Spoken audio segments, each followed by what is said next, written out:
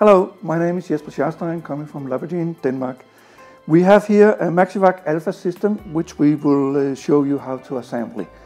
When you get it, you will have a CoolSafe 110, you will have a ScanSpeed uh, 40, and you have a membrane pump.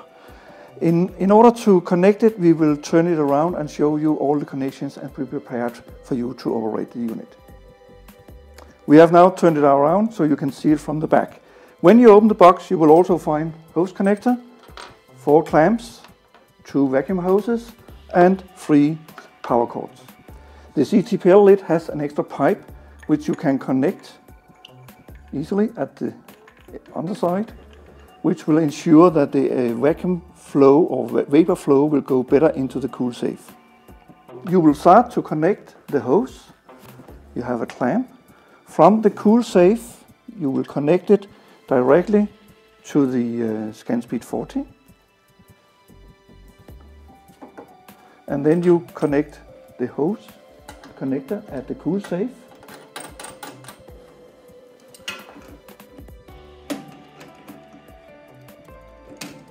You will take this next hose and go from the cool safe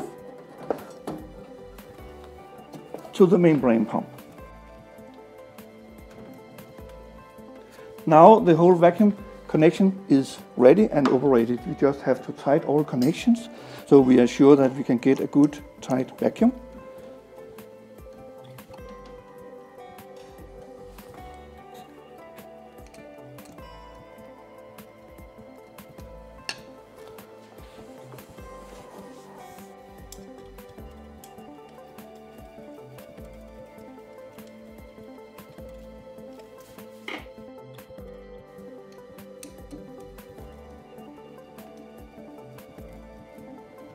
Then we have the three power cords.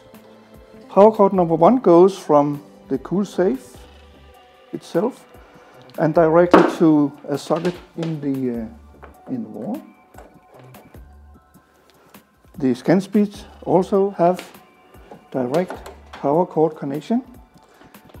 The last uh, power cord goes from the membrane pump. Instead of connecting that to the uh, socket in the wall, you will connect it directly to the ScanSpeed 40, which means that now it is the ScanSpeed 40 controlling when the pump should start and stop. So this will ensure that you get the vacuum in the right time. Now we are ready for operation and we will turn the unit around so you can see what happens when we do that. We have now finished the assembling of the unit and we are ready to, to start the operation. First thing to do is start the cool trap or the cool safe. It's just an on-off switch then the, the, temperature of the condenser will achieve 110 degrees Celsius. This uh, ScanSpeed 40 we have here, you can see the display with different uh, buttons which we can uh, change set points, we can start the operation and we can open and close the door. If you start from here, open the door and it's easy to do when the rotation of the cabinet is off. Close the door, the red light goes off then we can see the RPM, we can change the set point up and down and just say enter. Now we have changed the set point. The time, we can change that as well to, for instance, 11 minutes or 9 minutes, up, up and hours as well.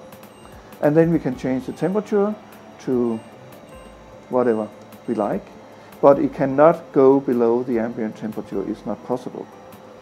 Then we start the unit the rotation will start, but as you can hear, the vacuum pump is still off, so there will not be any low pressure or vacuum in it now. It has to wait until the rotation has achieved 1000 RPM. When we achieve 1000 uh, RPM, then the vacuum pump will start because we put in the power cord from the pump directly to the scan speed. So it is the scan speed who control when the pump should be on and off. Now the pump starts and we start to have vacuum, low pressure. And you can see by pressing the bottom that the pressure is now going down. It will reach a pressure of approximately 1 hectopascal or 1 millibar. Uh, and it will operate now for the time 10 minutes as we key in as a set point. But you can, if you like, just switch it off. A valve at the, at the behind will open and release the vacuum so you can start to open the lid. Right now it's not possible to open the lid because we still have rotation. So it's not allowed to open the lid before the rotation is off.